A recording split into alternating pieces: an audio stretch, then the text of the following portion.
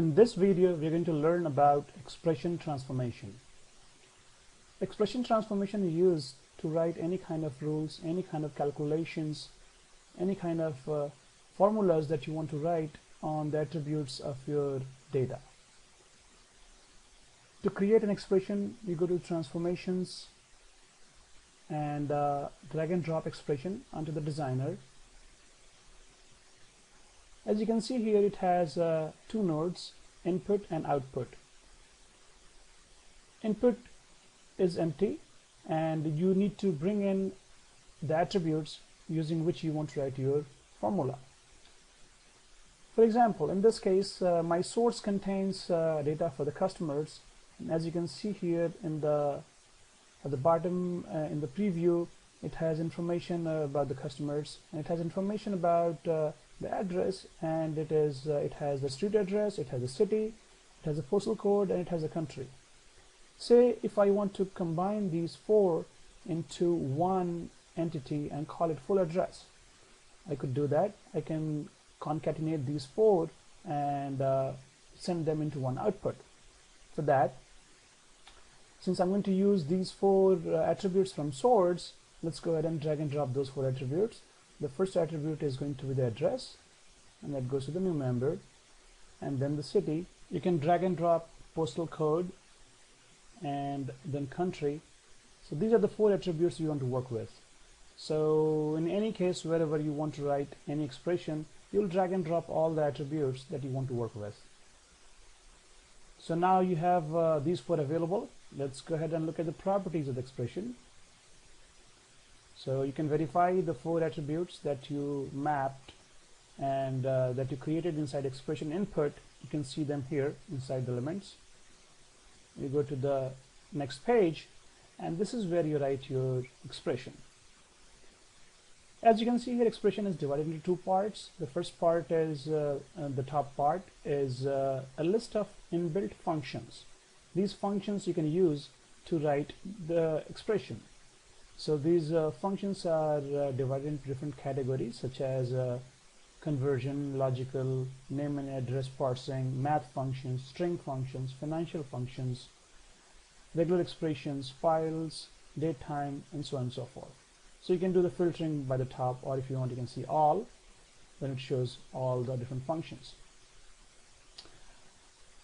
You can use any of these functions and uh, you can see here for each of the function it shows uh, the attributes that it takes. For example, this function AddMonths. What it does that it, the first attribute it takes is uh, a date time and adds the number of months. So say for example, uh, you want to write a formula where uh, you want to take a date and increment it by a certain number of months. So you'll, you'll put your input in the first uh, as the first parameter and second parameter will be how many months you want to increment it with. So that's where you'll use this function. If you want to use any kind of expression building with the conditional operations, you can see here uh, it has a list of inbuilt uh, um, if functions, such as uh, you see here, these are five different uh, flavors of if function. And the first uh, parameter you can see here is the condition, and then value, and then else value. You can do similarly for or different things depending on data types, such as this is for the boolean, this is for date, this is integer, this is real, and string. Then there are functions such as exists, if it is a date or not, it is integer or not, if it is null or not, and you can see for it is null, there are different flavors depending on the data type. You can check if it is numeric, it is real number, and so on and so forth. These are logical functions. So similarly, you can see for conversion, you have functions to convert uh, incoming data type into any other data type. Say, for example, you get a date value and you, you want to convert that to text, you can use this. Uh, you got string value and you want to convert that to date, you can use this function. So these are the conversion functions.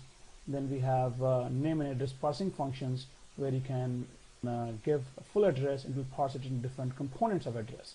Similarly, it can take a, a name and parse it into uh, different components of the name, such as the first name, last name, and so on and so forth. Then you have uh, all string functions. If you're uh, dealing with the text data, you can do concatenation, ends with, find inside the string, do a substring. Uh, you can remove the parts of the string, and so on and so forth. Um, you can use regular expressions you can you have access to a bunch of file functions date time functions so any of these functions can be used to build expressions however in this case uh, it's a very simple expression that you're going to work with so let's look at the right hand side part if you expand this tree it shows me all the available attributes using which I can write the expression. Since we brought in only four I can see only four attributes using which I'm going to write the expression. Since in this case um, our expression is going to be a very simple expression where we are concatenating these four fields to form a big full address. Let's go ahead and have a look at that. Uh, so I'm going to highlight address and double click on it it automatically added it here. Then I want to add a plus because I want to concatenate and I want to put a space. So I'll put a space then I'll do another plus then I want to do the city as you can see here as I start typing it will show me in IntelliSense all the functions and uh, all the attributes available. So I use the city and uh, after that I want to put a comma.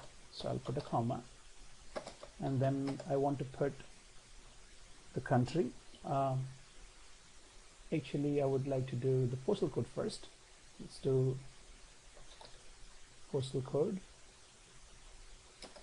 And uh, then do a,